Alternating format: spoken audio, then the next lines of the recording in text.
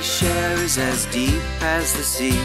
No matter how rough things may come to be, you and me, we're family.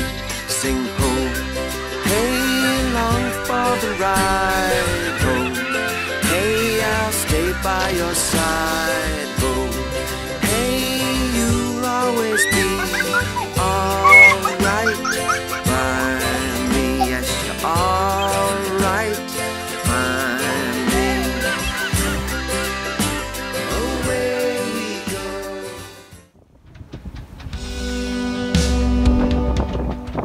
Last vlog, we were joined by Woody's dad, um, and he came on the passage, which was two days from Malta to Tunisia.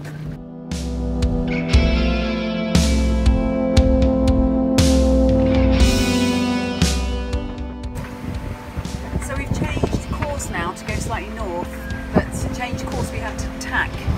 As we struggled to tack, um, the sails were flogging a bit, so the leech of the mainsail has ripped. So we've furled it away so it doesn't get any worse. So hopefully they can repair it when we get to Tunisia. But so now we're sailing on head sail, but to be quite honest, it's much better on head sail going downwind anyway.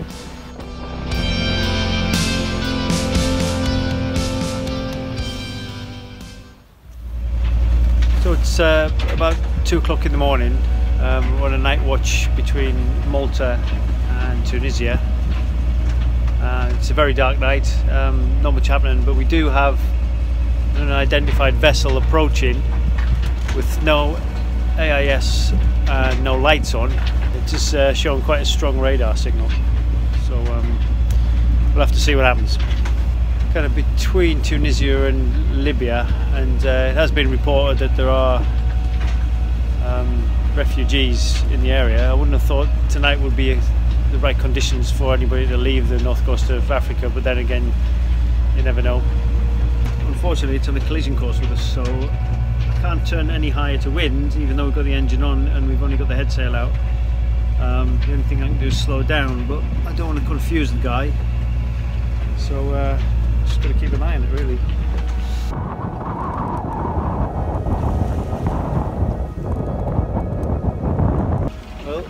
Turned out to be a massive cargo vessel and he's uh, nearly took the paint off our bows. He wasn't going to stop, but he was doing about 16 knots. That was a close one. Um, we've got 60 miles to go, and um, it's now morning, and I'm keeping nice and toasty warm. Look at my blanket. Oh yes. Everyone's asleep, and um, we'll be there in probably about 10 or 12 hours. Good wind. We had it all behind us, and now it's all um, close hauled to get in. About an hour and a half away. That's subject to um, the engine not breaking down because things that happened last time it can happen again. not one of those epic passages again. It was the whole thing like downwind, corkscrew screwing like the first part, and then beating upwind for the second part. It's completely well, we knew it was going to happen because we had the weather forecast. So now we're in a completely new continent. We're going to be in Tunisia really soon, which is North Africa. Our mainsail, which hasn't been repaired since we got the boats, um, we knew it was a bit weak, but that's got a rip that got worse and it's got a new rip, so I don't know whether that can be repaired or not. So we couldn't really use that most of the way. We didn't want it to completely get ripped. Um, and we've been looking, trying to look after our old Genoa to make sure that keeps going. Yeah, once again we sort of limp into our port with um, you know things that have been broken or things just working. But that seems to be the story of our life really. But the great thing about getting to Tunisia is that we're here to do lots of work, and um, hopefully it'll be in our budget, and um, then we can carry on. So Tunisia's up there. It's only about 10 miles away now, I expect. Monastir Marina, Monastir Marina. This is Haddock, Haddock, Haddock. Over. Monastir Marina, Monastir Marina. This is Haddock, Haddock, Haddock. Over. They do say there's no one there just to go like on a fuel pontoon. It turns out actually that the harbour master there said they don't often answer the VHF anyway, and I think it was broken at the time, so that's probably why. The last communication that we had with the project manager, um, who was going to do the work on our boat, said something in French about seeing seeing him in the morning. Um, it turns out that he meant take the boat to Port La Pêche, which is a mile down the coast. Apparently we're in the wrong marina. We have to move about a mile down the coast to uh, a fishing bay. But we're getting attacked by pirates at the moment, so we've got to watch out. That's what happening. Yeah, all right. Woody likes to be a bit dramatic sometimes. So today, Pirates! he thinks we're in the wrong marina and we're being attacked by pirates.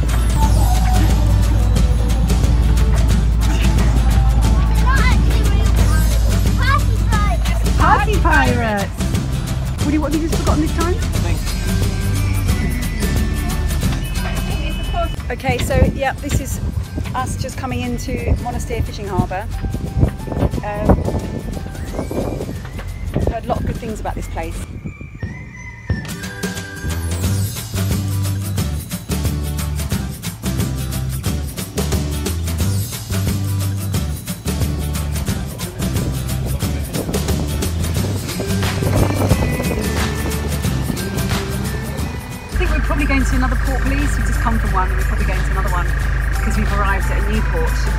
Hope they don't drive me back to the other one because um, I've spent hours in there. Most of my life in Tunisia so far has been spent in either the customs, the port police, or the Garde Nationale. So I don't know where we're going. I think this is maybe the local one. Yeah. Do you think it's is different to Cleopatra Marine? Uh, yeah, it is a bit. Yeah, it's more of an industrial one. There's pirate ships around as well. Oh, here we go.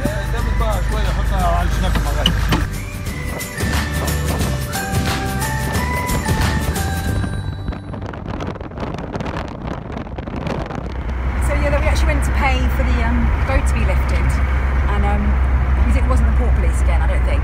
But um, yeah, we didn't have the money to pay him. We didn't realise we had to pay him now. So this lovely man has paid, and we're going to go to the bank and pay him back after. How much was it? 400 dinar, which is about 120 pounds.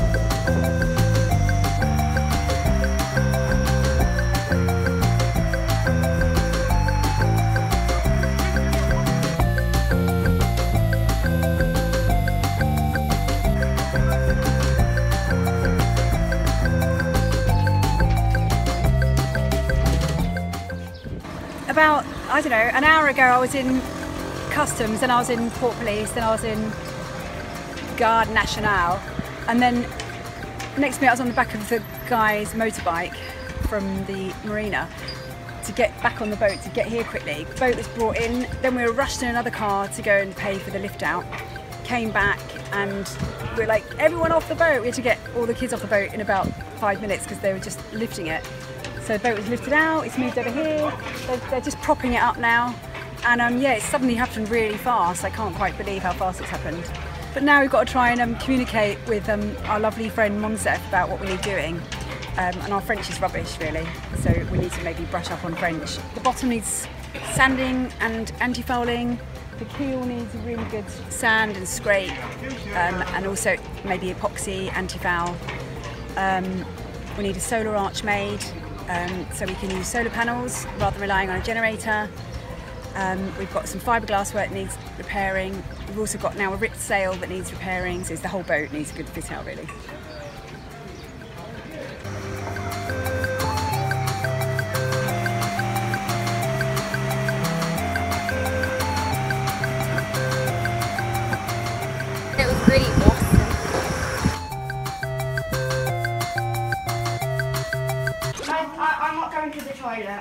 There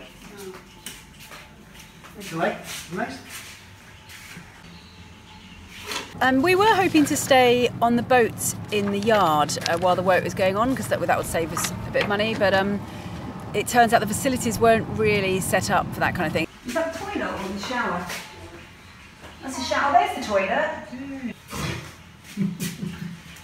I don't see people on the boat. I mean, we could rough it, but not rough it that much, really, while we're trying to teach the kids as well. It was all a bit of a, rush getting the boat out of the water, and we didn't have time to sort anything out, but we were really grateful to Woody's dad, who let us stay in the hotel with him until we managed to sort ourselves out.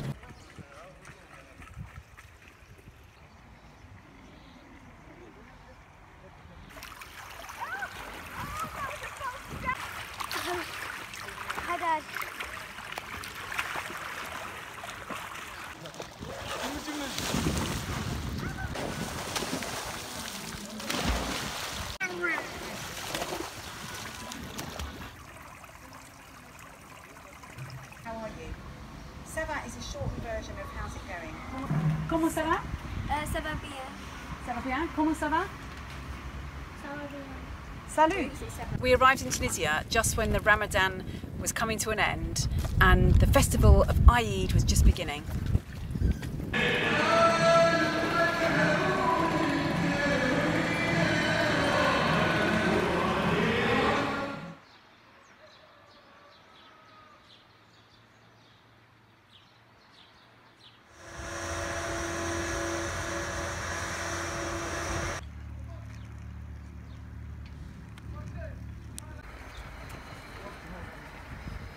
So we've just come down on Monday to see how it's all going, and um, we just thought, oh, that, there's no one on it. There's no one working on it. But then um, we came closer and realised the keel has gone right back to the metal. So we're pretty impressed and feeling happy.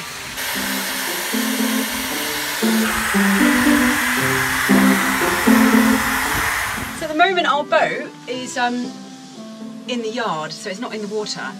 So you can't pump your toilets out because um, it just goes into the yard. Um, now, before we got lifted, I thought that we'd empty. The, I had emptied the toilets and um, expected no one to go to the toilet, but somebody has gone to the toilet. So um, this toilet stinks and it's got a bit of wee in it, and I'm sure there's poo in there somewhere. So, how to get out? Because it's going to get worse over the next three weeks. So the idea is what's going to happen is Woody is going to stand under the boat. He gets the best jobs with the bucket, and he's going to hold it up against the outlet, and I'm going to pump it through and hose it and put some disinfectant and stuff like that. So we're kind of going to. I'm not going to. Yeah, I'm going to pump it out, but I'm going to hose the water in. So maybe I should turn it off before, so I can fill it with water a bit. It's a small bucket. Yeah, it's a small bucket. How big's the bucket, Woody? Smaller Yeah, so That's so big. but the holding tank's open. Is it? Yeah. Oh, right. So whatever's in there is in the pipes, not in the tank. Well, it's a two metre pipe. So you've got two metres of about two inch pipe. Okay, Yep. that would probably fill the bucket.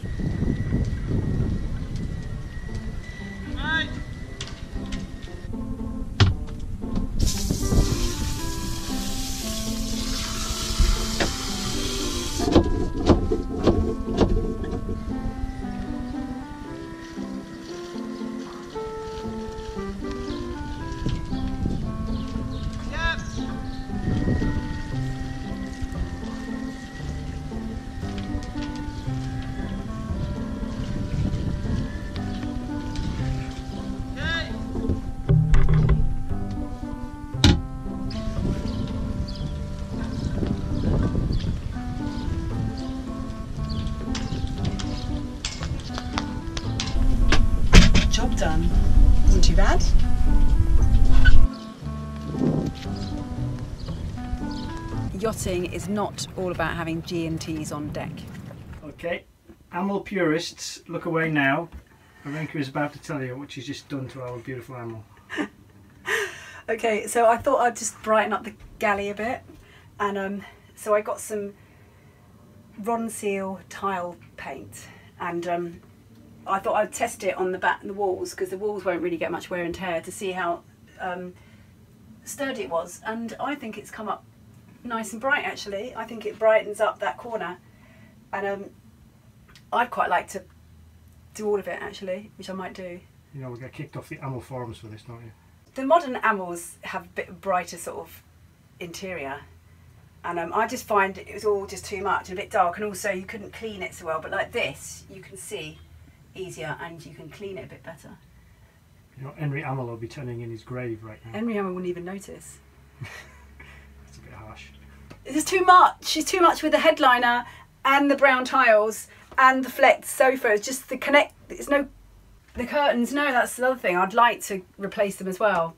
So this is it's not too bad, really. I mean, it does sort of fit in with the wood, so it isn't the end of the world. But I just thought, when are we next to be a place where we could do it? It's just it's so woolen as well. It's like kind of winter.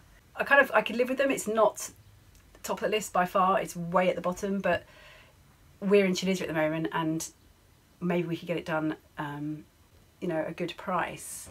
It's just what colour though, because with children, it's going to get. I don't want to be precious about it.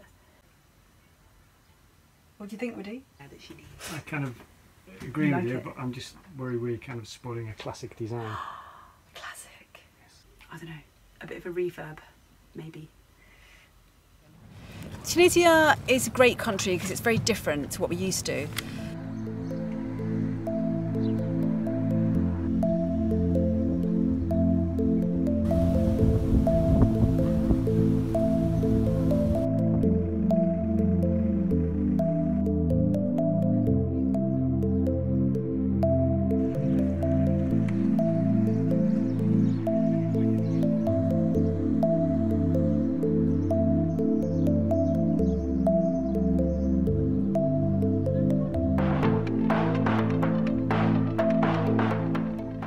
There's some areas that are really quite grand and well kept, and other areas that seem more neglected.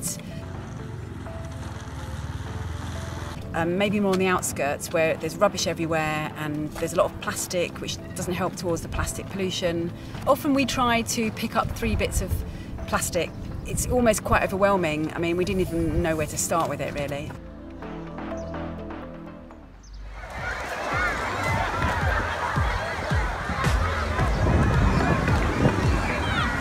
Quite a few people ask if um, Tunisia is safe to travel in and go to after the 2015 terrorist attacks on the beach. Well, all I can say is there is plenty of security around um, on the beach, in the hotels, and I suppose when we travel, we tend to mix with the locals anyway, and we tend to avoid areas that are mainly designated just for Westerners. So, you know, we felt fine. We're at a beach in Tunisia. What are you drinking? Mint tea. There was a guy walking around the beach selling mint tea. Is it is it strong? Let's have a look at it. Ooh. What's that, Rowan? It's the leaves. Hold it up in the sun then. Oh, nice. Everyone thinks we're really weird because of our blonde hair. So wherever we go, we get stared at. It's really nice to see all the Tunisians out yeah. We What are you doing, boys?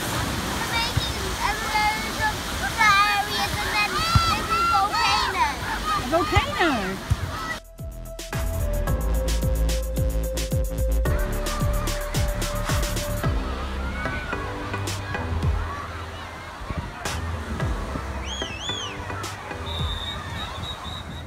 time we spent in Tunisia, the more we wanted to experience Tunisian life.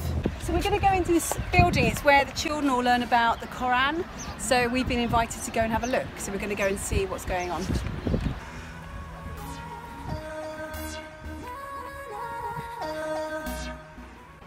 We're at like a school where the kids learn about the Quran because they have to learn the whole holy text.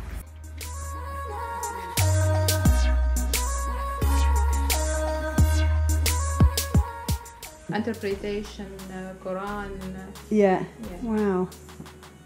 That is a big library. Rowan, would you be able to read all that? Yeah, yes, yeah. how how You know how you learn, Ewan, every day? Yeah. When you do your letters? Oh, you have to open it the other way. Okay, so this it, they do the same thing but in Arabic. They have to practice writing Arabic letters. The Arabic books open the other way round. yes del del ta Can you say that, yes So this shows you where to put your tongue to say it. what Where is that? From um, Brighton in England. You know it? It's south of England, Yes, south yes. of London. Yeah. Are you from Monastir? yes Yeah. in Islam we have five Yes. prayer Prayers. yes praise So this is where everyone does the prayers through the day. Yes. And how long do the prayers last? The play. Maximum five minutes, ten minutes. Five minutes, ten minutes. Yes. yes. I was born in Österreich, Autriche. Yeah. Austria. Yeah, my mo- um, my mother is not Tunisian. Oh. Okay. Uh, and I, I, I become I come to Tunisia. Uh, for me, it was a great uh, experience. Islam, for me, Islam is a type of life in all in all things. In, educa- in education, in uh, in praying, in uh, relation with God, in relation with the humans, and so So it's like a way of life. yes. You want to bring it into your whole life. Yes, yes. Do you uh, to hear uh, some Quran? Yeah. I can read some Quran. lovely. Yeah.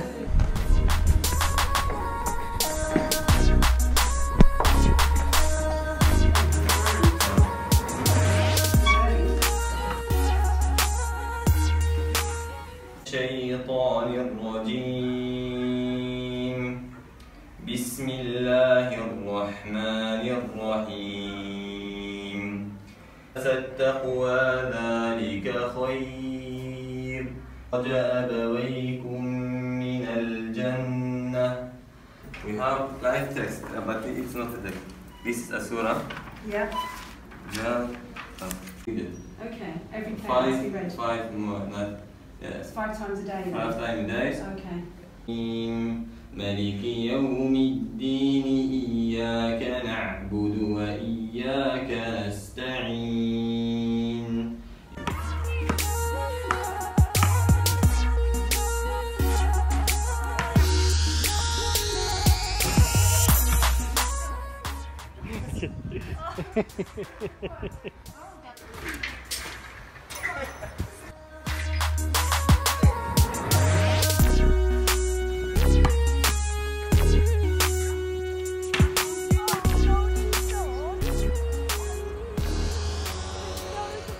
excited to find a local market as well where we could stock up.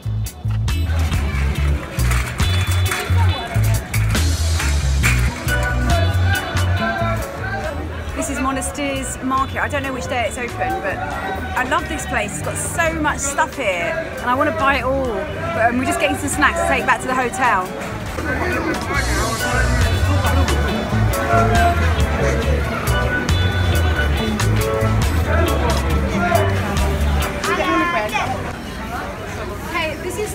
Brioche, and this is breads.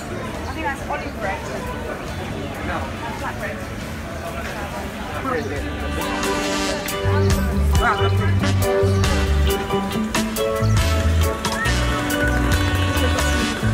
Chocolate cookies, something. Woody wanted to try this very sweet, sickly, fatty looking thing which is in here, and it's so sticky, sticky you have to put it in another bag.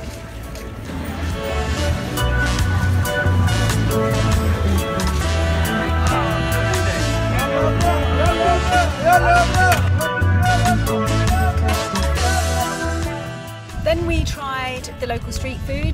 Yeah, That's yours, Big. They're pancakes. They're pancakes. We don't know.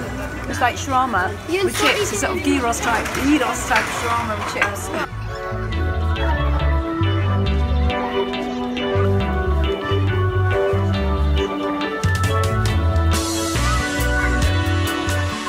We're in Tunisia, North Africa, and we just had to we just went to go have some street food, and now we're having some street donuts for pudding.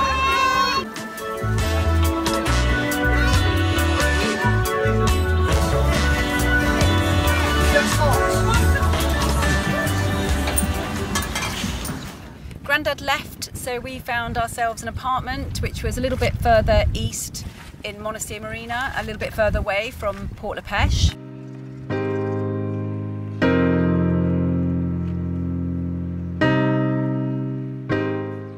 After we found our apartment, it was almost like life could be in a traditional family back at home where Woody went off to work down the port and, um, and I'd be a stay-at-home mum.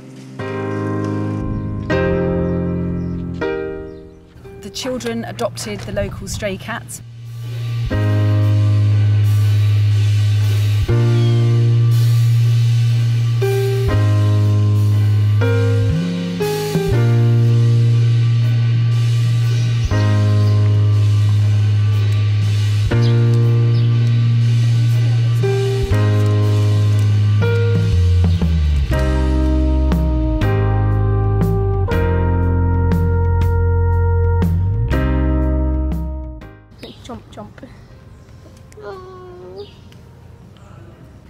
Homeschooling routine carried on.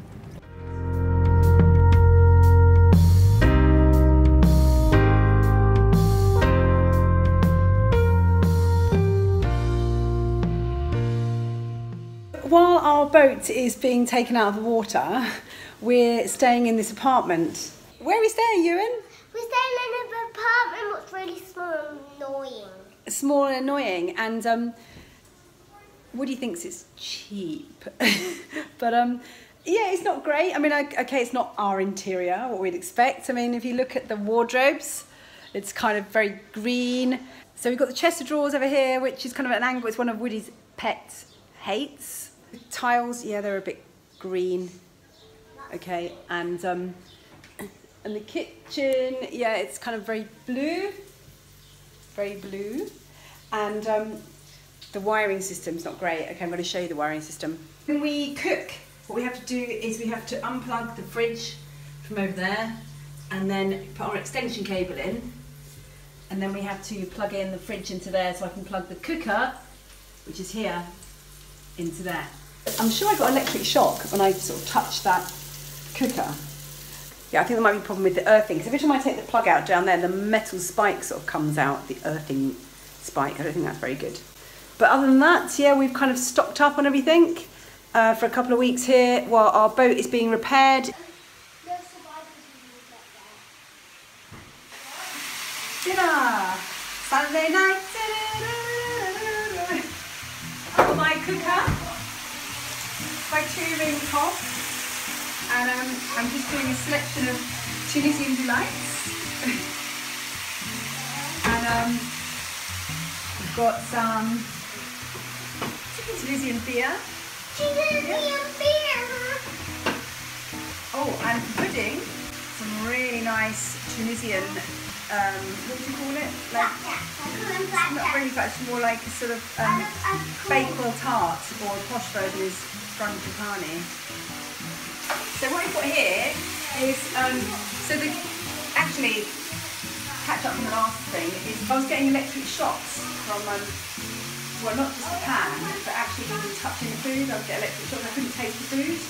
So I ran up the guy to get electricity round, so he came round and he took the element bit apart and he's kind of taped it up again. So now I've set up this little kind of cooking section with um, basically it's got like two plastic chairs, plastic good, and one of the shelves I've kind of put on there and then I'm balancing that on it. So it's kind of working alright.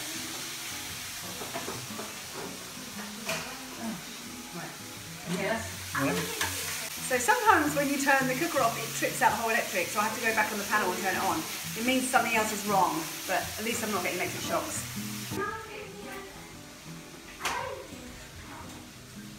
Ta-da! We have light!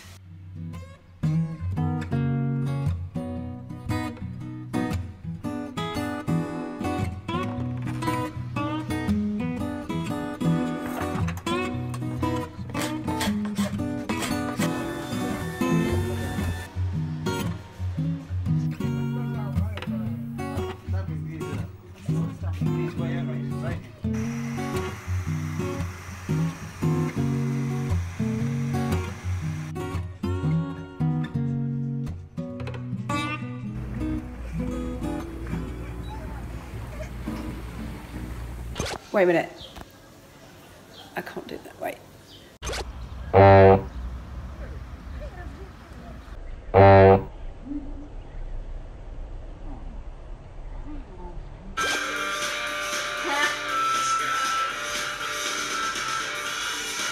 Rubbish that's strewn about.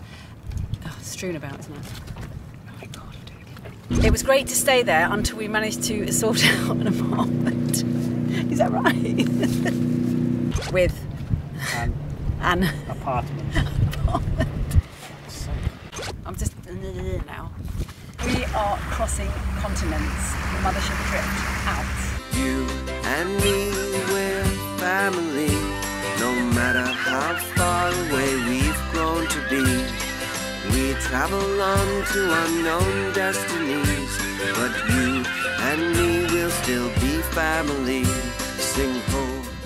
Thanks again to all the patrons. I hope you enjoyed my first lens post. Um, if anyone else wants to get involved with the making of these videos, then please do sign up as well. Otherwise, keep watching and keep sharing these videos. Thanks. And if you want to do it, do it. Sing ho. Hey, along for the ride. Ho. Hey, I'll stay by your side. Always be